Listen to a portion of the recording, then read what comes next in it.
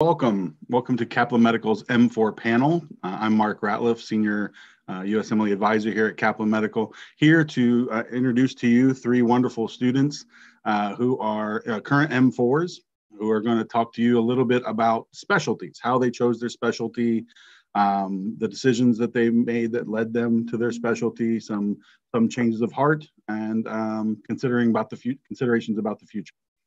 Uh, so uh, without further ado, we're going to bring them along. Um, let me get control of my screen here. All right, so we have with us tonight Tara, uh, who is uh, at an osteopathic school in Florida. Hi, Tara. Hi. Anthony. Anthony is at an allopathic school in California. Hey, Anthony. Hey, everyone. All right. And um, whoops, one more. Dory uh, is at an allopathic school in South Carolina. Hello. Hi, Dory. All right, so that's uh, our, our panel tonight. Uh, before we uh, get into the first question, um, Tara, uh, Anthony, Dory, are you are you excited to uh, to chat to some uh, fellow med students tonight? Absolutely. Looking yeah. forward to all the virtualness of this. Right. You know, um, right now more than ever, we need to connect with each other. And if it's through virtual ways, then that's what how it's going to be. So please, everybody in the audience uh, today, tonight, uh, depending on where you are, uh, please uh, submit questions into the chat. Um, they're going to be funneled up to us at the end of the session, and we're going to try to address as many questions as we can. We've got nine of our own that we're going to address with the panel. Uh, so uh, without further ado, I'm going to call on Dory and talk. Whoops, sorry, Dory. I got a runaway mouse. sorry, You're folks. fine. ah, there we go. Dory, did you get into medical school assuming one specialty was for you, and did that change? Absolutely. That's a fabulous question. So, for me, I actually came to medical school thinking I was going to go into OBGYN. Um, I love women's health, I love surgery. Um, and I figured that was a good fit of both. Um, they also, OBGYN does a great job of also implementing a lot of medicine. So I thought it was kind of a good mix of everything.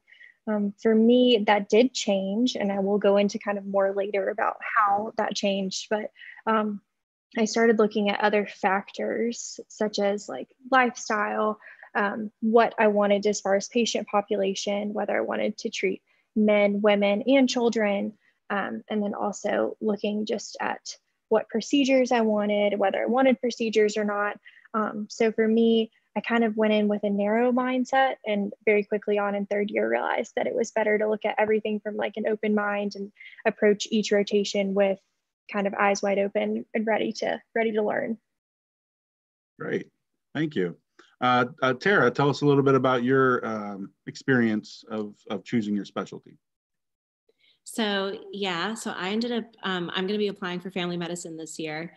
And I actually started medical school thinking that I wanted to do emergency medicine, which is super popular right now. Um, and so I changed my mind and I'm going to go into it a little bit more um, as we move along. But definitely when you're doing rotations and you're working with doctors, and because on your rotations you're expected to do basically you know three months of internal and a month of family and you do all these rotations um, you get to see different aspects of different fields of medicine from different sides. So um, that's why i kind of switched from emergency to family med. Um, but if you had told me that i was going to switch when i started medical school i would have told you no like i'm so sure. Um, and obviously i wasn't so sure. So it's definitely okay to switch and change your mind. No doubt uh, Anthony, you have a little experience with that yourself. Uh, yeah, definitely. Um, going into medical school, um, I thought I was going to be a pediatrician. Um, I thought it was pretty, um, not fully set, but pretty set. A lot of the work that I did prior to medical schools with kids, like in summer camps and things like that. Um, and I very quickly realized that I actually really enjoyed working with adults as well. Um, and I'll be talking about that a lot as the the panel goes on.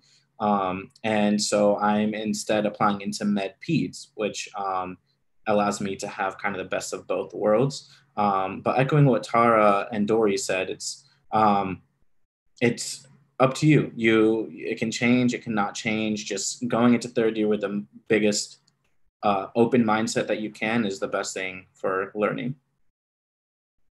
Excellent, excellent. Yeah, um, it, you never know what's going to happen, and then there's the match, and then there's uh, you know the considerations of um, competitiveness and your scores. There's so many things that go into it. All right.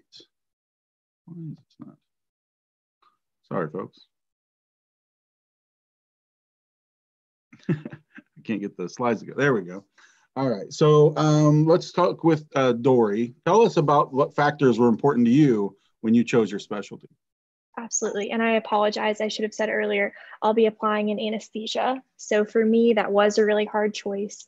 Um, I actually ended up flipping a coin, which is a whole different thing. But I actually kind of recommend it if you're kind of between two specialties and you've done a ton of research um, kind of flipping a coin gives your mind like a chance to figure out like whether you would have been satisfied with what it landed on or not.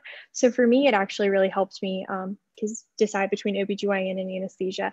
But prior to that coin flip i had done a ton of research. I had talked to a ton of faculty in both specialties. Um, i listened to a ton of podcasts just truly because i was torn and paralyzed by not making a decision so, factors when I was looking at those two decisions for me um, was first off, like lifestyle. So, shift work or not shift work.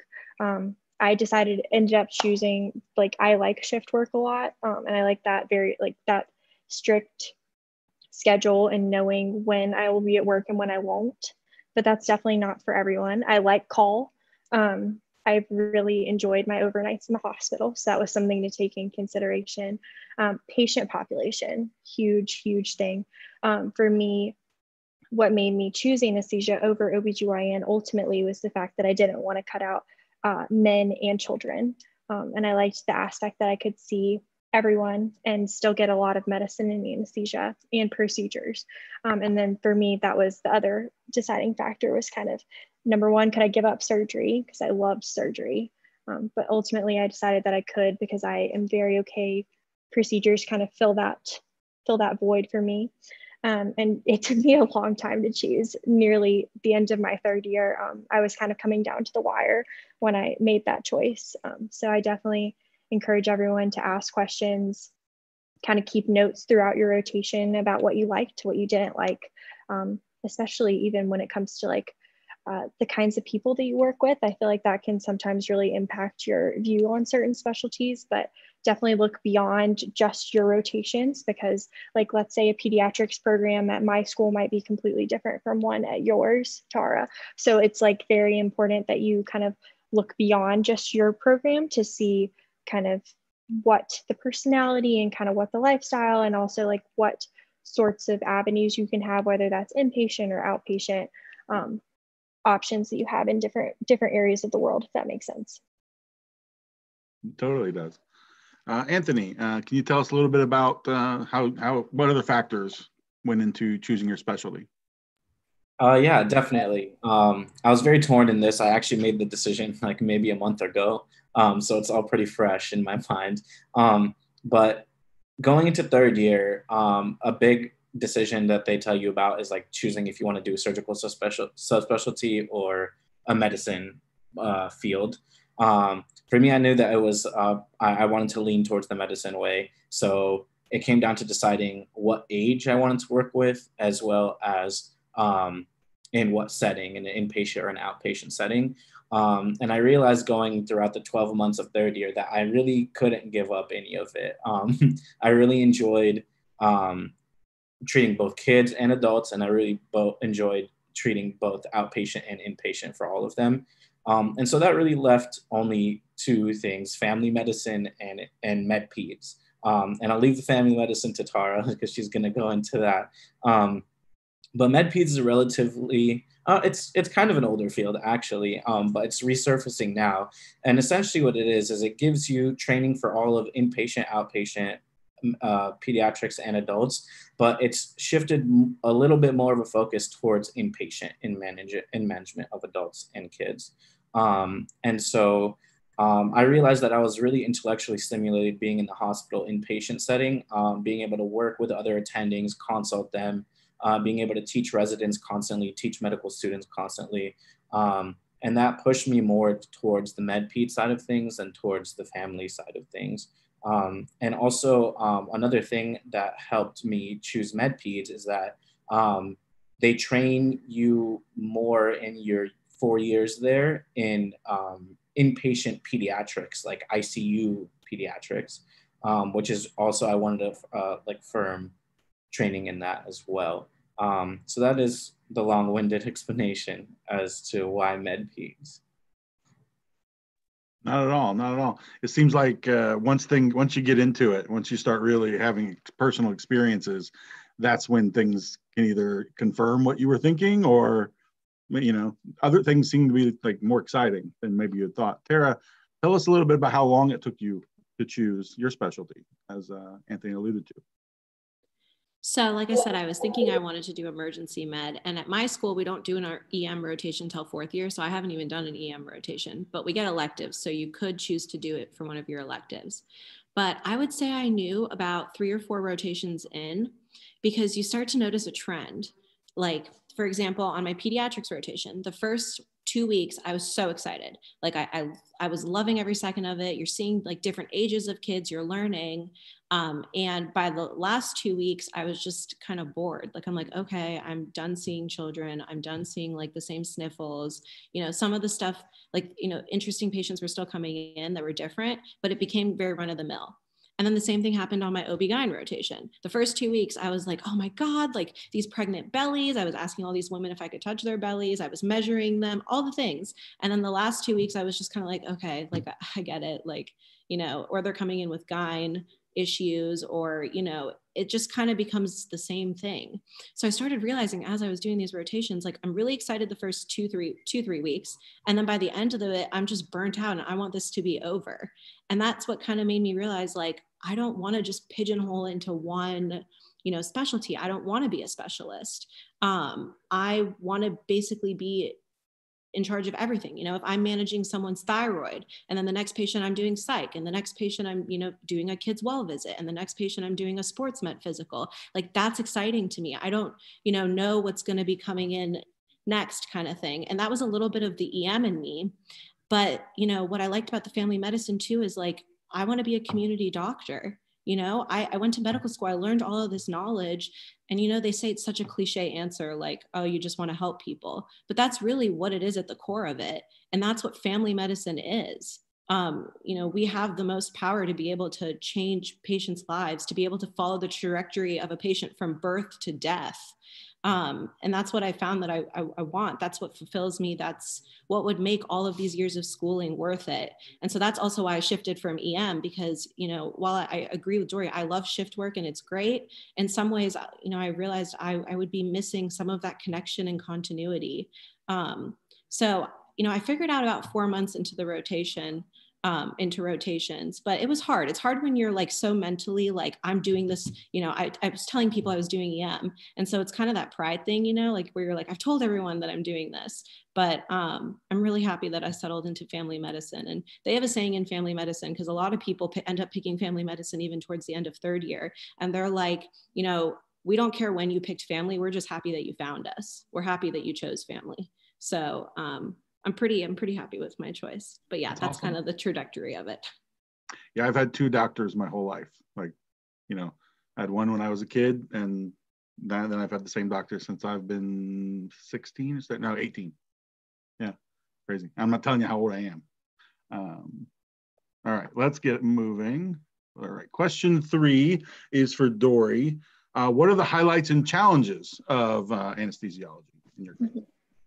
Absolutely, and I am not an anesthesiologist, just a medical student answering this question. Yeah, but from so- the outside perspective, um, I think some of the highlights would be um, I think this could be a highlight and a challenge, honestly, swinging from very low acuity to very high acuity at a very quick rate. Um, there are going to be some cases where everything goes perfectly, and there will be some cases where things happen to patients or things happen during a surgery that no one would have anticipated. Um, so I think being able to switch from that like low acuity, kind of a mundane, normal day to like very high acuity, lives could be on the line.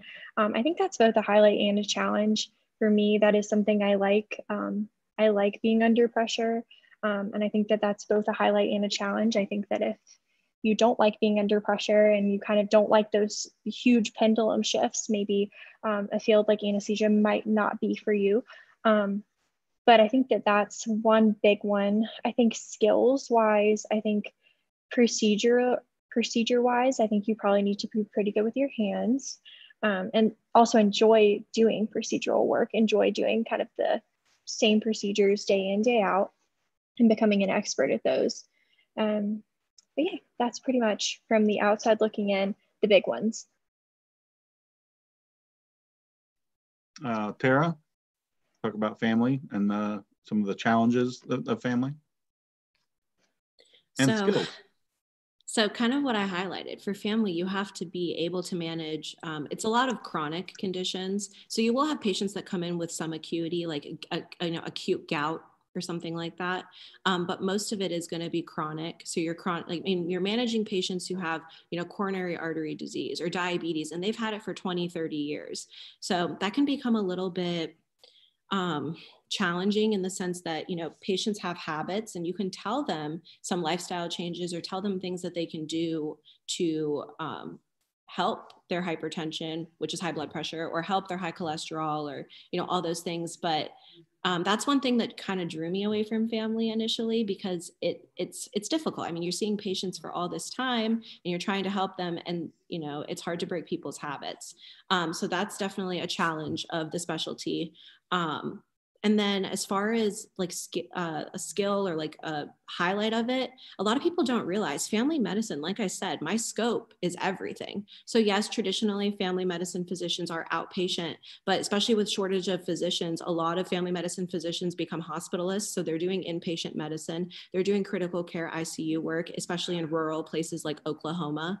Um, and they basically everything is in your scope. So if you like procedures, you can get additional training and you can do dermatology procedures. If you like women's health, you can do gyn, you can do colposcopies, you can even follow patients during their pregnancy. And if you get the training, you can deliver babies. So that's the greatest thing about family because when people say like, oh, well, that's not in your scope of practice. Well, in family, everything is your scope of practice. So it's great. You get to tailor your your your your your outpatient office or tailor your career basically to what you want to do it's definitely a good specialty for the curious mind. Like obviously your doctors, so every specialty is every doctor has to have a curious mind to even get started.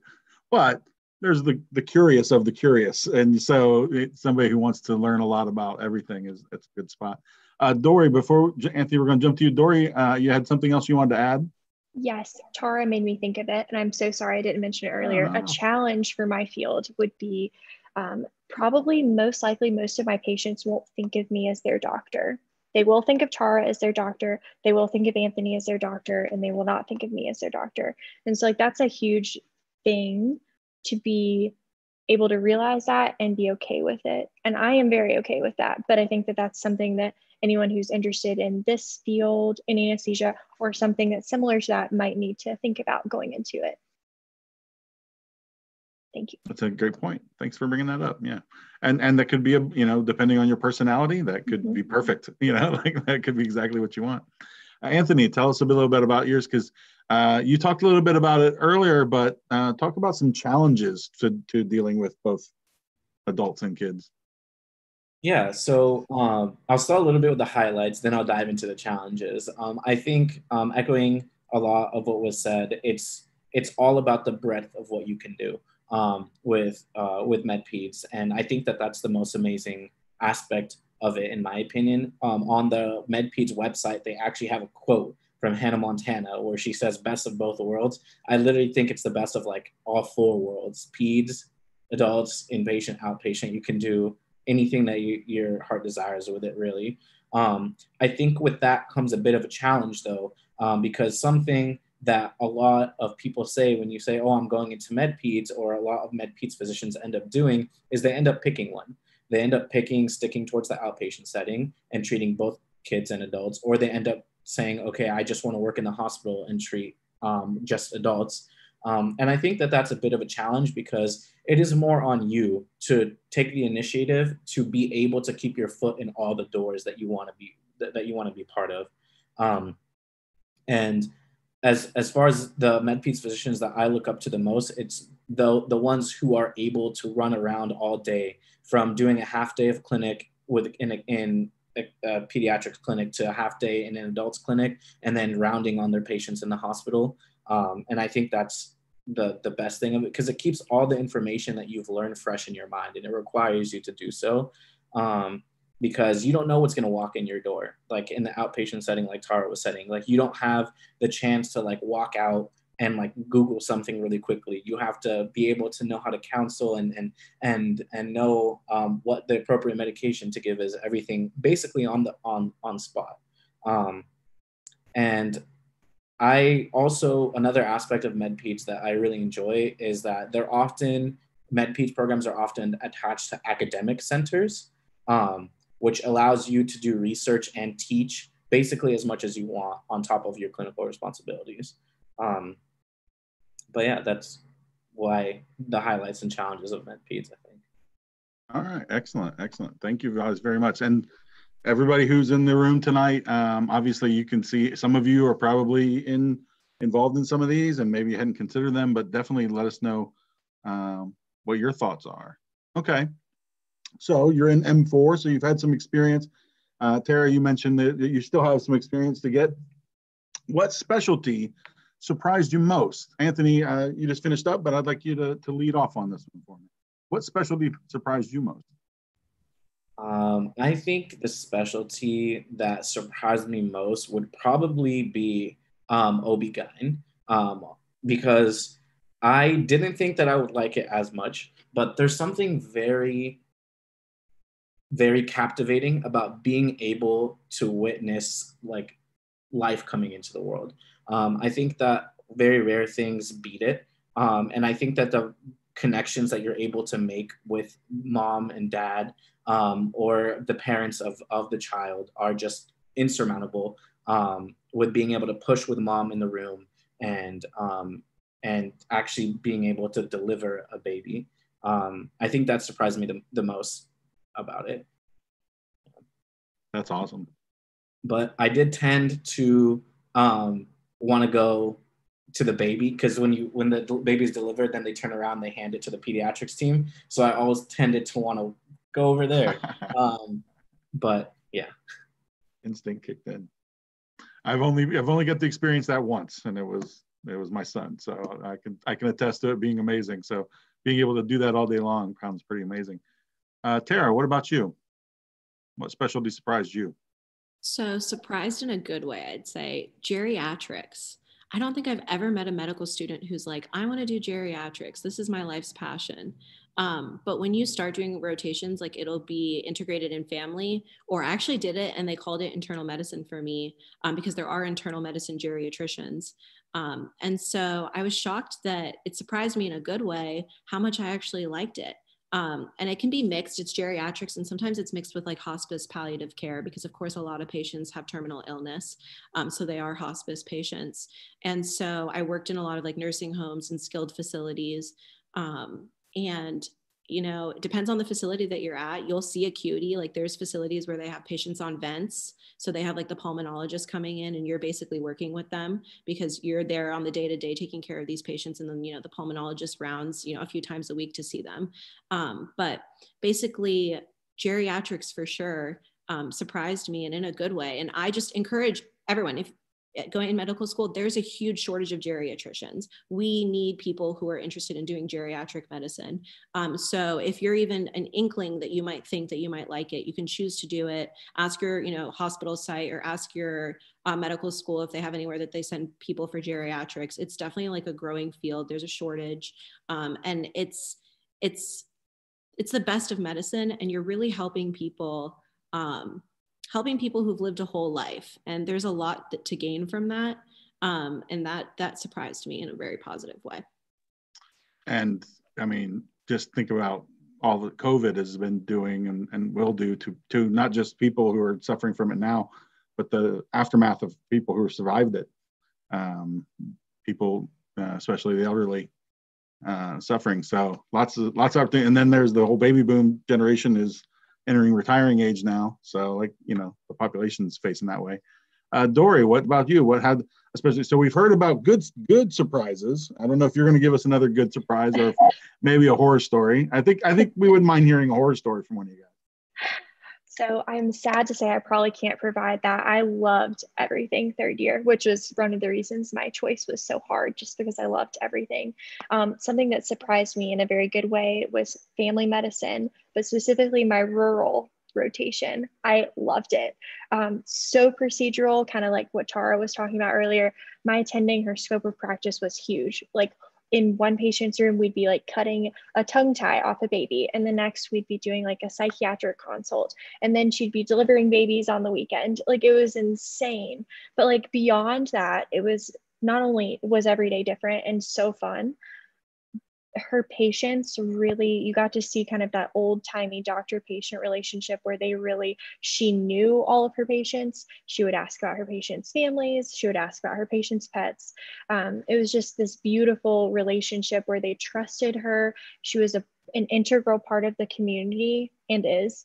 And also just you got to see like their like that beautiful therapeutic relationship that we all strive for um, so I really, really loved that. It was a fabulous two weeks. It was an hour drive for me there and back, and I didn't mind it at all, just purely because I learned more in those two weeks than I think I did in any other rotation. So I absolutely adored it. Um, and I think we also had another question, um, just as a sidebar. Uh, Kristen asked us to talk about choosing elective rotations. So I'll popcorn it over to Tara and Anthony after I say something about this. But for me, choosing elective rotations was just kind of all about like what I was interested in and also like what I thought I would never get to see. Um, so I think it's just pick something that you like. I don't think that you can choose incorrectly with your electives. They can really just broaden your learning and broaden what you get to see during third year. Um, if you have any interest in it, try to get an elective in it. Um, and if you think that you might dislike something, maybe go for that and kind of push yourself out of your comfort zone. So I would say maybe do something that you like and then maybe pick one that you think would challenge you more and you would grow from. Anthony? Uh, so the question was, uh, elect. How do you choose your uh, elective rotations? As Dorian asked. Yeah, um, I'm gonna have to echo a lot of what Dory said and try not to sound repetitive in it, but it really right. boils down to the two those two things: what interests you the most, and what do you think you'll never see again? Um, because once you um, once you're say pick internal medicine and you decide to go into internal medicine, you're probably not going to step foot in an OR again. Um, so if you really want it to try something like a certain, like a ortho surge or, or something like that, um, then definitely do an elective in that. Um, I think another valuable piece of that is um, challenging yourself in things that you aren't very great at. Um, so for me, like for example, that would be the kidneys, um, like nephrology. So I have like a pediatrics nephrology elective coming up because I'm like, okay, I'm gonna have to know this at some point, so I might as well just dive in into an opportunity where I can do that. Um, but electives, um, I maybe I'll, say this here, and maybe the person who asked the question can clarify um, the difference between sub-Is and electives, um, because sub-Is are um, in the fields that you're usually in the fields that you're planning on applying into, while electives are other can fill the rest of your fourth year schedule and sometimes your third year schedule as well. Um, so if there's a clarifying question on that, we can get to that. But, yeah. No, no problem. Uh, Tara, what about you? Uh, did you have any special um, reasoning behind how you chose? So I love, so I agree with Anthony and Dory's answer, but I'm going to give more of my like strategic advisor answer, um, especially with COVID, rotations and electives and a lot of things this year, whether they're sub internships for those of us applying for match this year or just electives if you're a third year building your schedule, some of them are hard to come by. And I have colleagues who were banking on their last few months of third year rotations, which got cut off because of COVID, to get some of their letters of rec. I have friends who are applying family medicine who've never done a family medicine rotation because COVID cut it short. So if you have electives, I would recommend, while I do agree, I want you to explore options.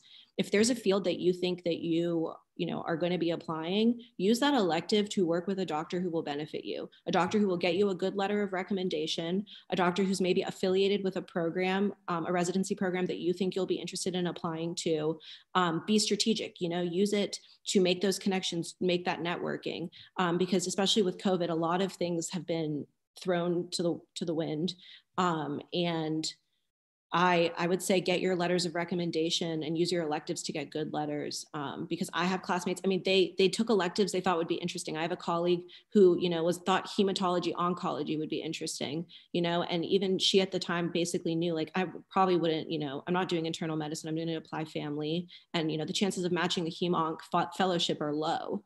And she took that elective, and now you know she's applying family with no family letter of rec.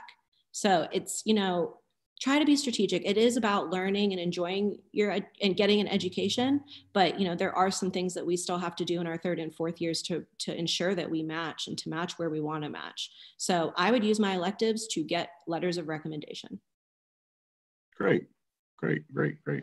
Good advice everybody. You guys are hopefully got they're taking notes. All right. Um, I asked the group earlier how to pronounce this, so I'm just going to go with my way. As ERAS ERAS applications are going in soon.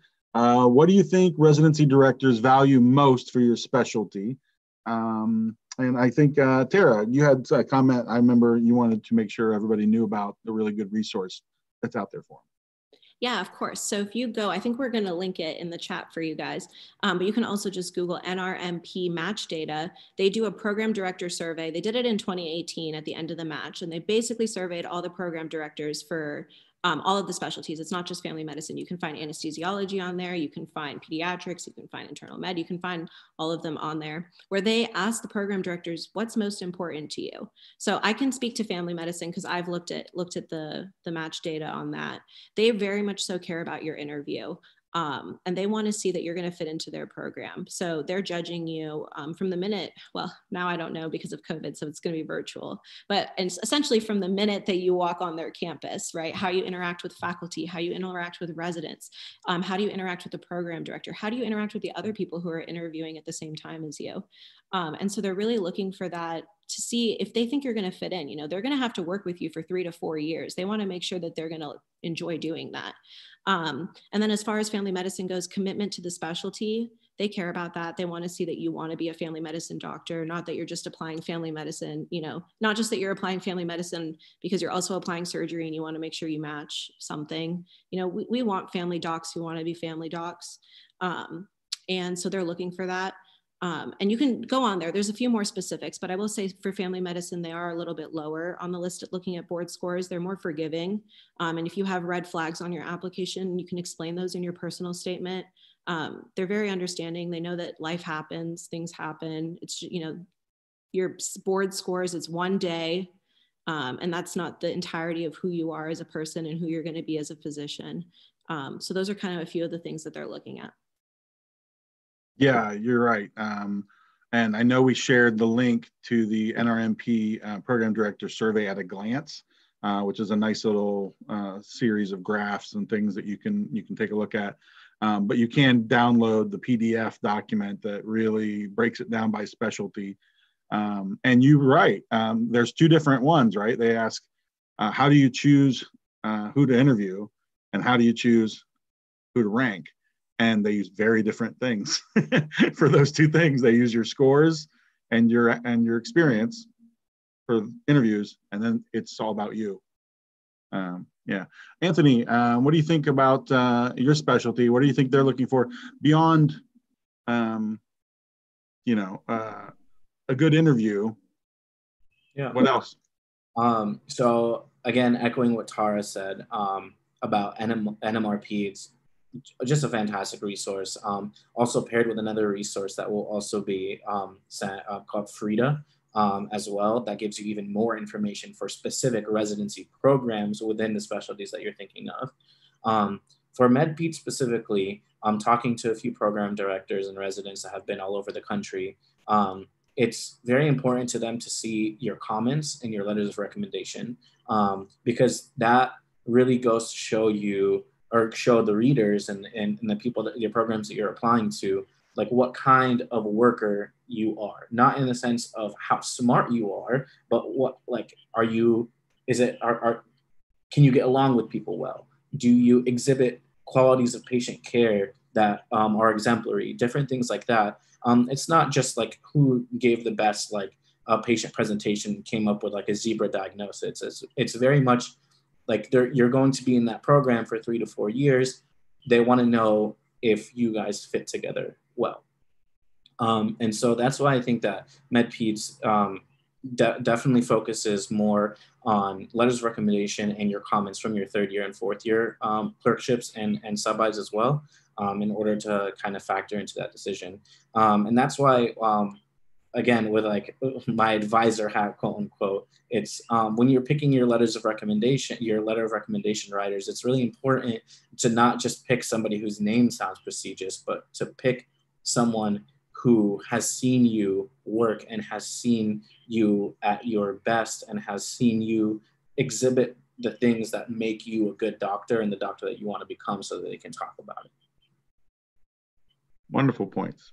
Uh, dory do you have anything you'd like to add Sure, definitely echo what Tara and Anthony have said. Um, that's all good advice for anesthesia as well. I think that specifically they look at your comments from medicine and surgery during your third year as two of the more important comments, but all of the comments are very, very looked at with well regard. Um, also, I would echo that FREIDA and the NMRP are invaluable, invaluable resources. I think for all specialties, really, the letters of recommendation, especially in the day and age that we're currently looking at and applying this year. Um, I think letters are huge. And I think that um, kind of what Anthony was saying, finding letter writers who can evaluate you both clinically and personally is really important because I feel like that gets a better breadth of like, this is who this human is, not just like, this is what this medical student is um, in the clinic if they can speak about you outside of the clinic as well.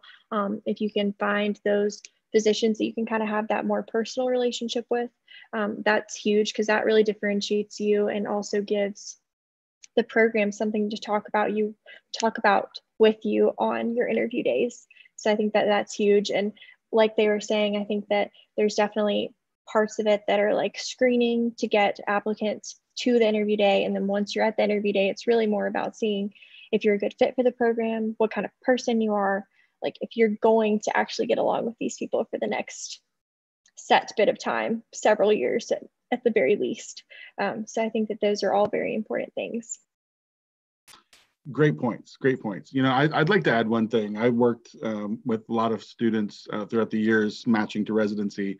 And one of my best friends from my life uh, was a chief resident at UMass, and now he's He's work, working in practice in Chicago, and he told me that that your application has to be good enough every step up to the last, up to the personal statement. He said a lot of times they would just have a stack of personal st- stack of personal statements where people are like, all of these people are good.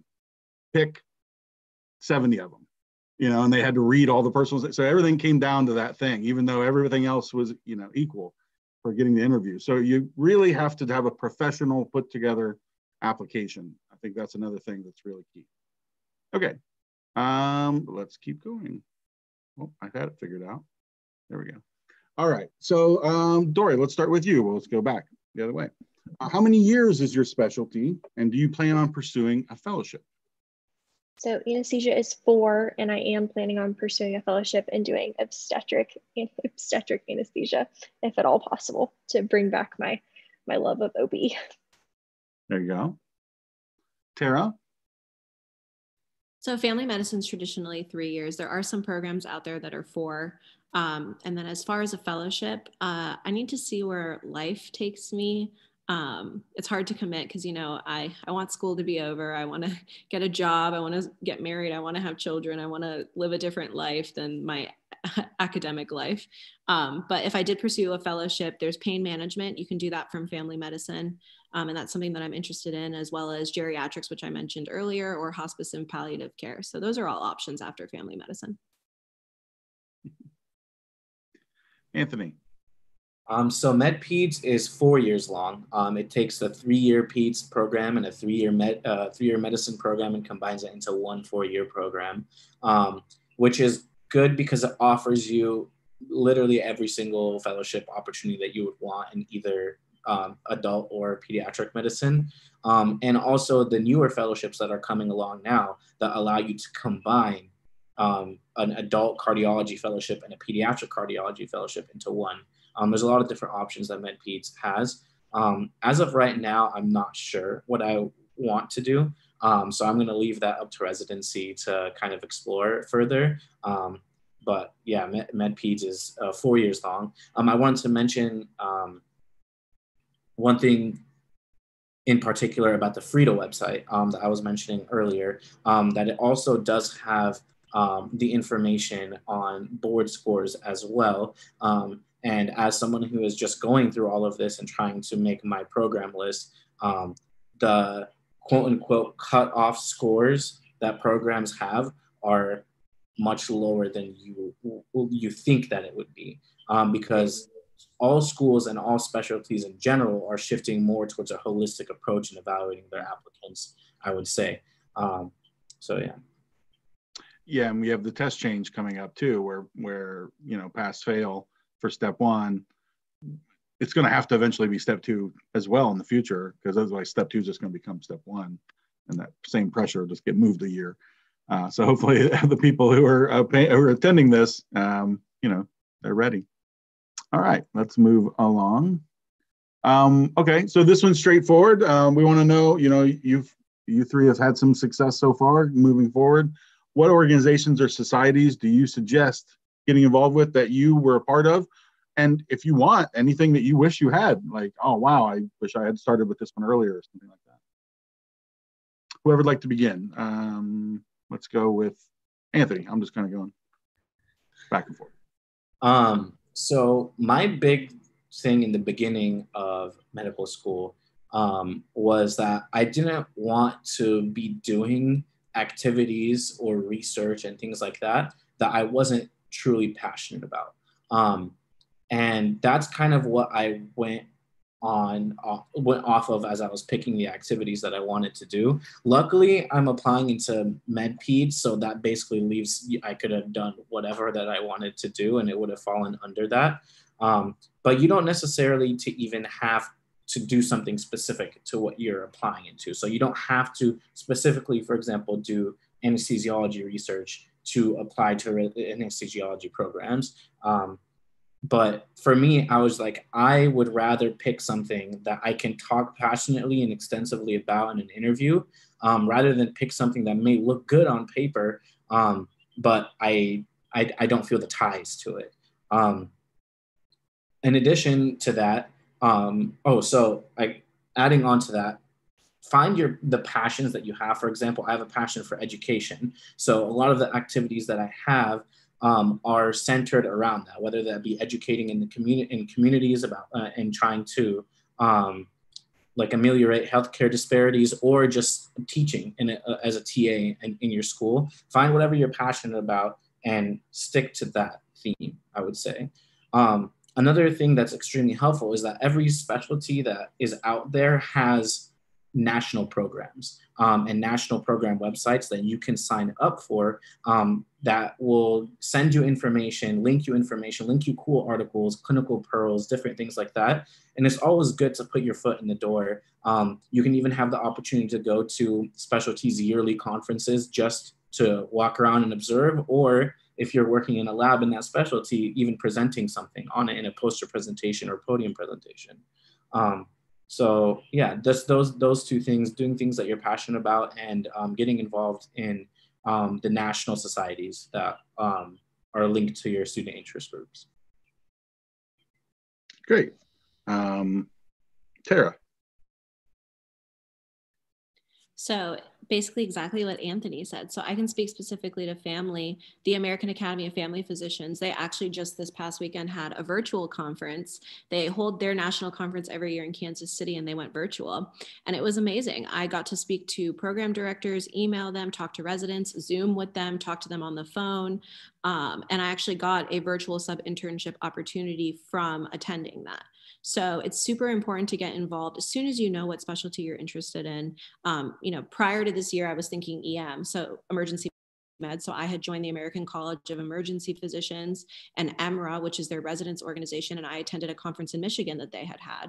Um, and, you know, on a rotation, I worked with a gastroenterologist. She took me to the annual gastroenterology meeting that they have. So, you know, there's always meetings going around. There's medical conferences. There's all kinds of things. So there's tons of opportunities to learn. And the main thing with a lot of these opportunities is, you know, again, the networking. Medicine is a very small world.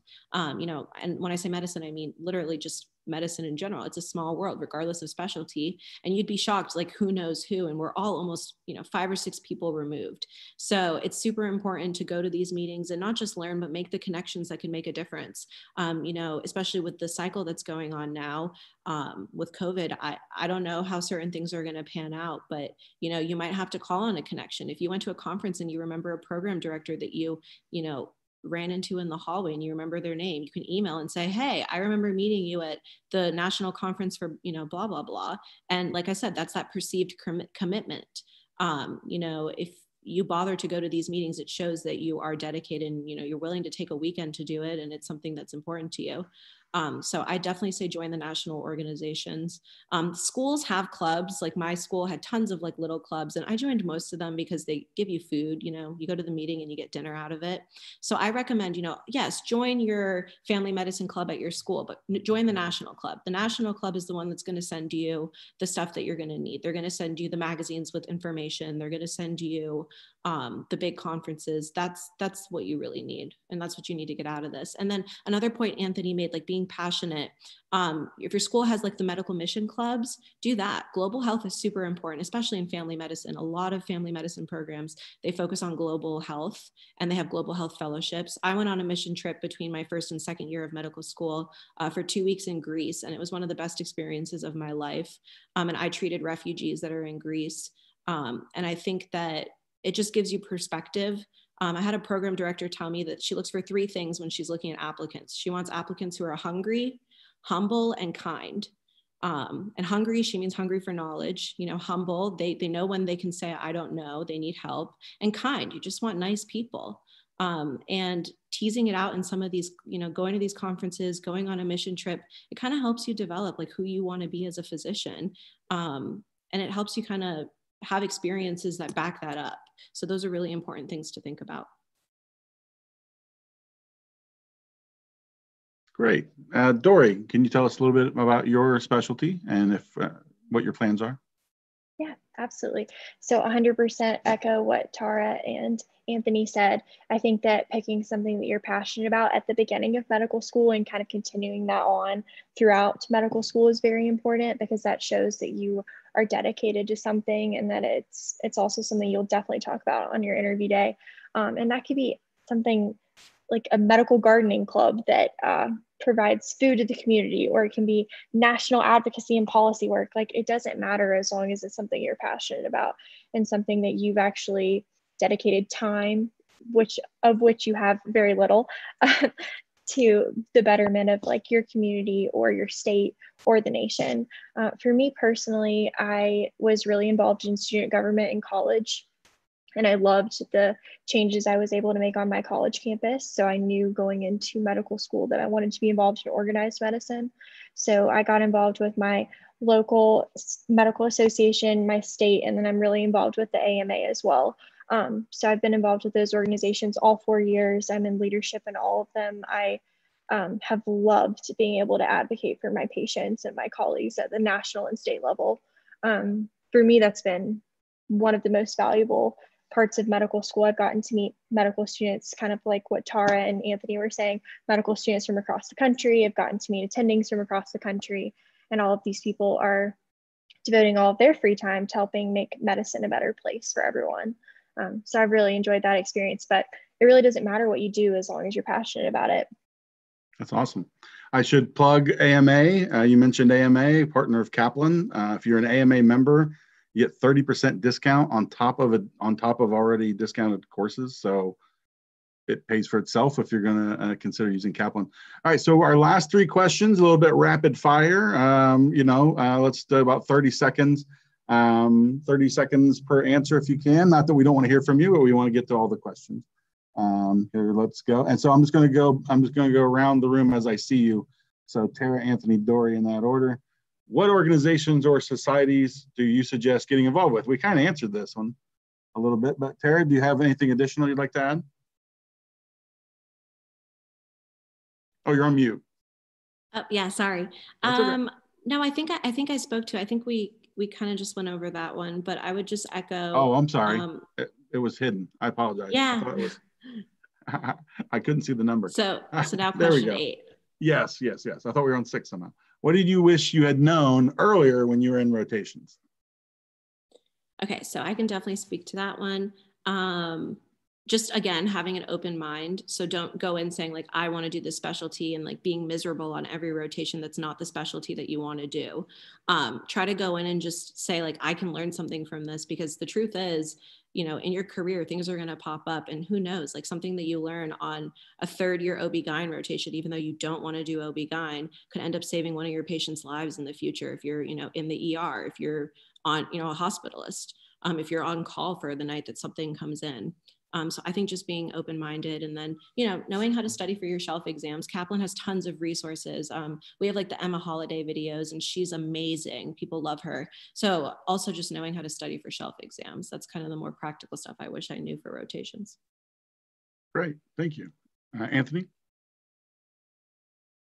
Yeah, so um, just hopping on that, um, definitely figure out what resources you use to study best for shelf exams because you are on rotation, so you'll have kind of uh, like less time than you usually would to, to study. So knowing what really works for you is going to go a long way.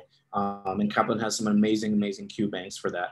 Um, so in terms of general advice for third year rotations, I have five things. Um, I call them the five P's. There's only four P's, and the other one you kind of just have to imagine.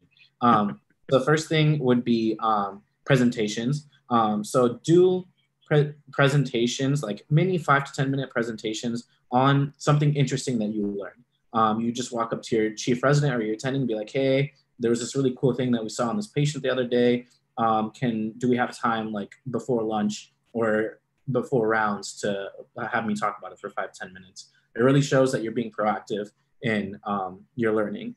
Um, the second thing, which leads me to, is being proactive. So a lot of the problems that I see um, third and fourth year medical students have is that they walk up to their third or fourth year um, or, their, their resident and they're like, hey, is there anything else I can help with? Um, which is very good. But the next step on top of that is going further, realizing that your team needs something and just saying, hey, I heard overheard that we need to get this done for this patient. And that will more likely give a positive response, I think. Um, the third thing, which is um, I think an obvious one, but this is why we're here, is patient care. So making sure that your patient's needs are met, making sure that if they look confused on rounds that could be fast, then you go back and you sit with them and you talk with them. Because your job as a medical student and having more time usually than the residents and the attendings is that you know your patients inside out. You're carrying anywhere between two to four patients versus your residents who are carrying like 10, maybe 20. So you should know your two patients really well. Um, third thing is positivity. Um, so they work a lot of hours, or sorry, that's not the third thing, that's the fourth thing. Um, positivity. So your interns, residents work a lot of hours. And honestly, just having somebody there to be positive and uplift the spirits of the team goes a really long way um, in the hospital setting. And lastly um, is feed feedback that's the imagination that we do here.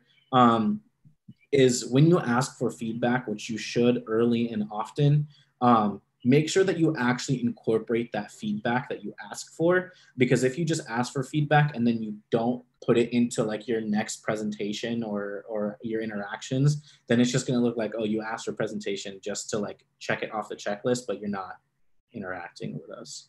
Um, but yeah, those are the um, the five things that I would every That's time. great. So that was a little thing, but That's good, man. I love it. PH, PH. That's great. Dory? Well, I cannot top that. Anthony's it's gonna be- advice is yeah, like the luck. best thing ever.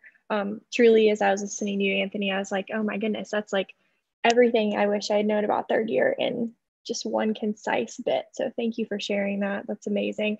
My one thing that I wish I had known, um, in addition to that, is I wish I had started studying earlier. I feel like when you start your rotations the first week, you're just trying to get your feet wet and just trying to figure out exactly like how your team works, how you can contribute, and like where your place is. And I feel like during that time, I should have done a better job of like easing myself into my studying and using the resources that I knew worked for me.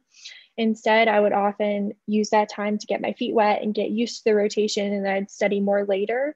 And in addition, with studying more t- closer to the shelf, your clinical responsibilities as you spend more time on that rotation are kind of more is expected of you and you're doing more. So I kind of wish I would have even that kind of upward slope out to stress myself out less by starting earlier with like Kaplan resources and whatever else works for you at the very beginning with like just little bite-sized chunks each day and kind of continuing that. And I think that will make your life hopefully less stressful than mine was during third year. But yeah, what Anthony said is just truly amazing Uh, and great definitely agree with that. Wonderful point. Okay, so we got to be quick with these last ones. If I can, sorry, I'm having a mouse problem. All right, so real quick, couple sentences each. Uh, Anthony, we'll start with you. Best advice or resources you want to share about choosing a specialty. You, you, you could maybe something you said earlier and you just want to reinforce, or if you have anything uh, specific that you really want to make sure everybody knows. Um, I'll try to stay away from repeating things that I've said already. Um, I think we've talked about it uh, like throughout this past hour. We've talked about it a lot. Um, but one thing that I think I haven't mentioned yet is um, besides following what you're passionate about, when you're interested in a specialty, don't only look at what the resident's life is like. Look at what the attending's life is like as well, um, because residents do work a lot of hours and does get really hard. So if you look at a specialty and you're like, oh, it looks um, like it looks like it's so much work. It looks like I'm not going to have like any any time, any life, anything like that. Looking at what the attending lifestyle is like also gives you a different perspective into what the majority of your career will be if you do pick that specialty. Um, so including all the things that we've talked about in the first eight questions, I think that's the um, that's one additional thing I would throw. Okay, uh, Tara. Um, okay, so again, trying to avoid repeating myself, which I tend to do. Um, best advice or resources to share about choosing a specialty. Um, I think for me, again, for family, um, just using the national resources that I already talked about, but just seeing how you're doing on your rotations. You know, how do you feel? What are you truly passionate about? And checking in with yourself. Um, to keep it short, I think the most important thing that I, I, I realized, especially towards the end when it's like, okay, this is it, like I'm applying for family, um, ask yourself two questions, right? So, what's your definition of success? And for me, medical school, you know, getting through medical school, being a physician is my definition of success. Um, and how much money do you need to make to, to be to be successful, to be happy? Um, I know a lot of people struggle when they decide that they want to do family medicine. It's kind of like the you know redheaded stepchild. You know, we don't make as much as specialists. Uh, we definitely do just as much work, but the salary is just not there. Um, but you know, for me, making 200, 220,000 dollars a year, that's more than enough. And the gratification that I get in my day-to-day work and the difference that I can make for people, um, you know, that that feeds into my definition of success. It feeds into who I am as a person. So I think when you're picking your specialty, you know, asking yourself those two questions, and it's okay, be honest with yourself. You know, um, if you you know live live to work and you want to be in the hospital on call for 80 hours a week and you know orthopedic surgery is your life you want to make you want to make that money and you want to you know that's all that you want in the world then own it and apply ortho and go for it um, but if you're on the other side and you don't want to do that then own that too so it's okay it's okay whatever you decide to do Own it. I like it. And Dory, uh, finish up for us here.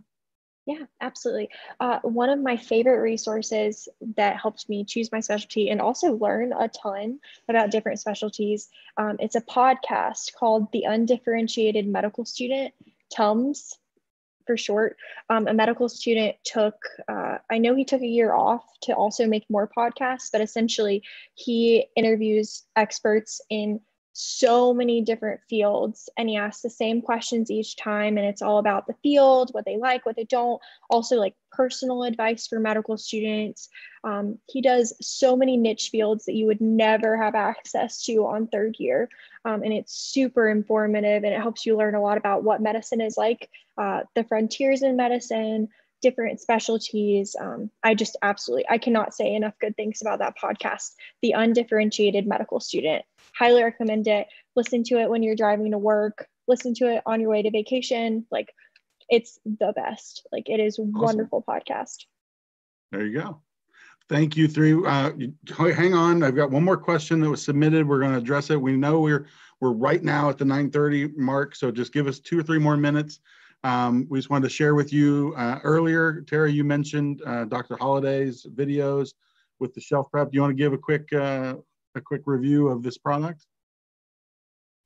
Um, so you can see the bullets there, but basically it's high yield, right? So everyone's panicking, right? There's tons of material, especially for internal medicine. I mean, thousands of questions, thousands of hours worth of things that you could be doing to prepare. Um, and Emma Holliday, she's really that go-to source. I recommend watching her at the beginning of studying, in the middle of studying, at the end of studying. I watch her several times. Um, they're extremely high yield. They're, I mean, she she knows what she's doing, and also for surgery, um, same concept. So these are, especially surgery and internal med, people don't realize they're, I mean, surgery has a lot of internal medicine in it. So they go very much so together. So if you can build a strong internal medicine foundation, that'll prepare you not just for shelf exams, but for boards. Boards is like 60% internal med. Um, so Emma Holliday, she'll get you there, that's for sure. So I would definitely pay attention to this. Um, ask other medical students too. I mean, everyone knows who Emma Holliday is. So that's awesome. Thank you.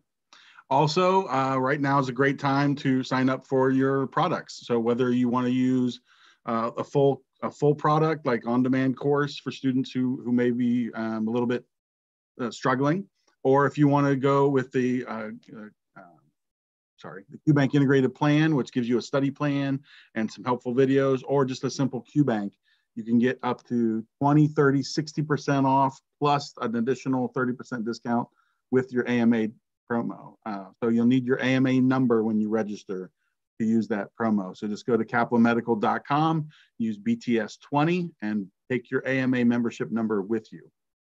All right. Last, uh, oh, also, real quick, I swear, I'm going to throw this mouse in the in the river. Uh, join us on on social media. You can join us on Twitter. Um, you can find us on. Uh, I can't see my screen what I'm showing you folks, but you guys can see it's Instagram. That's what it is. Instagram. My apologies. I think we're on Twitter too. Um, last question you guys had. Oh goodness, breaking down. We had one more question. I'm just going to go ahead and type it in here for our read uh, panelists. How are you guys handling the uncertainties in applying to residency this year regarding virtual interviews, uh, people taking step two, level two, not as many fourth year electives, things like that? The, how, how has COVID uh, impacted your career? Anybody wants to jump in? I mean, I can talk about it. I'm anxious. I'm going to be honest with you. You know, I you work really hard to get to the place that we're at, and this whole match cycle is going to be it's unprecedented. No one knows what's going on. Um, so that's why i'll say thank you everyone for joining us here. Um, kaplan I'm, I'm using kaplan as a crutch. I mean they have so many resources. They're reaching out to everyone they know all the experts. Um, you know a lot of good advice and just that feeling right of like camaraderie. We're all kind of going through the same thing. Um, and so I definitely say like use your resources. Kaplan is an amazing resource. I wouldn't be here if I didn't think it was, if it didn't help me get to where I am today. Um, you know, besides that, some of these program directors don't even know what they're doing. I talk to them and I'm like, hey, you know, some programs are doing virtual sub internships and they look at me like I have five heads. Like, what do you mean? What is that? So they're all on a different page. They don't really know what's happening either. Um, you know, we're all just kind of going with the flow. Just do the best that you can. Some hospitals are taking electives, you know, basically just email as many people as you can and it's worth it. You know, I've gotten 30 rejection letters, but I just set up a virtual sub internship last week. So you'll get some yeses, you'll get tons of nos. Just know that you're not alone. Know that the resources are out there. Kaplan's here to help you. Um, you know, we're all here to help you. Um, and we're going to get through this. But you know, the reality is we're not going to know till Match 2021 happens how it affected everyone. Right. So let's just try to enjoy the ride, do the best we can. You know, it wouldn't be medical school if they didn't throw some wrenches in it. it you know, if it was easy, everyone would do it. Just use those mantras. Try to stay positive. Hang in there, baby. Right, the kitten. exactly. Yeah. Or the, the guy that's sitting and everything's on fire and he's like, this yeah, is fine. This is fine. Yeah, yeah, yeah. It's been my life for the last like four years. So no doubt. We're we're counting on you guys and ladies. So please. Uh, Anthony, Dory, would you like to to address, you know, this year's madness regarding your career? just kind of what Tara said, everyone's in the same boat. Um, everyone's schools are handling things a little bit differently. I know all of our schools probably started back at different times. Um, I think that uh, limiting aways is going to be hard um, for students. I'm really, really, really happy. Some of my anxiety has been slightly lifted. We don't have an anesthesia program at my home school. And I, like Tara was saying, got a ton of rejections because of geographical limitations and a lot of states weren't taking students. And then I did get one away. Um, so I'm very, very excited about that. But that's not something that everyone's going to be able to do this year. And I think that all of the specialty societies pretty much have come out to say that that's not something you need to do this year. So I would say that don't stress yourself out if that's something that's not going to work out in your schedule or just something that your school isn't going to work out with with kind of how your school's doing things. Like it is unprecedented and residency programs are working through everything just as much as we are so i wouldn't i would definitely not stress yourself out and give yourself some grace if things don't go the way you want them to this year if that makes sense. But i think we're all in the same boat and it's all going to work out. And um, we hopefully are they they need doctors and they're going to need residents. So i would not i would give yourself some grace. Exactly. Anthony, you want to finish up for us? Yeah, I mean, the amount of times that we have heard and will hear, like these are unprecedented times, or that um, all medical schools uh, students across the country are experiencing this as well, um, it can be really frustrating. Um, but it is true. Um, we're all approaching this with like with the same like first foot. Um, we're all we have all never experienced something like this before. Um, we all just um, need to do the work that we can, put the best impression of ourselves out there, reach out to as many people as possible, even if you don't know them or don't have a connection with them. Um, reach out um, because these programs, um, they ultimately at the end of the day also want great physicians and they're going to try to do their best with whatever policies they have um, to make sure that that happens. Um, and just staying healthy and staying positive and getting through this all like actually as a nation, as a world um, as a medical society. So great. Excellent. Excellent. And um, what was it, uh, Tara? You said hungry. What was the second one? Hungry, humble, and kind. Hungry, humble, kind, positive, the five P's. Uh, yeah, Midori was talking about positive attitude. So I agree with, with all of you that those are all great things to take away from tonight. Uh, I had a lot of fun. I learned a lot. Um, I want to thank each one of you, Tara, Anthony, and Dory. Uh, you did a great job tonight. Uh, you're very honest and forthright with with everybody. I hope that everybody got that impression at home, uh, and I hope that uh, everybody here has great success and gets everything that you deserve and more. And uh, thanks everybody for joining us. you know, um, you think you're on the right path. Um, please feel free contact Kaplan Medical. We've got lots of uh, smart people here to help you and answer your questions and get you on the right path. We've got great products, brand new QBank with all kinds of great uh, new features. Uh, so don't be shy. We give a lot of free products and free trials. So go to our website, try us out. I'm Mark Ratliff. Thanks everybody. Thanks to the back behind the scenes folks helping out tonight. We really appreciate your help. And uh, have a great night, everybody, and stay safe. Good night.